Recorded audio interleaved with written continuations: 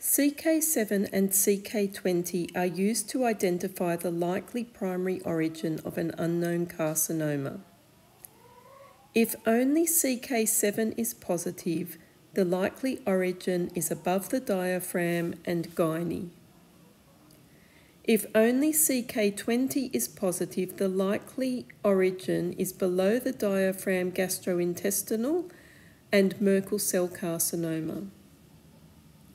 If both CK7 and CK20 are positive, the likely origin is peridiaphragmatic gastrointestinal, bladder, or mucinous. If neither CK7 nor CK20 is positive, the likely origin is simple visceral, liver, kidney, prostate.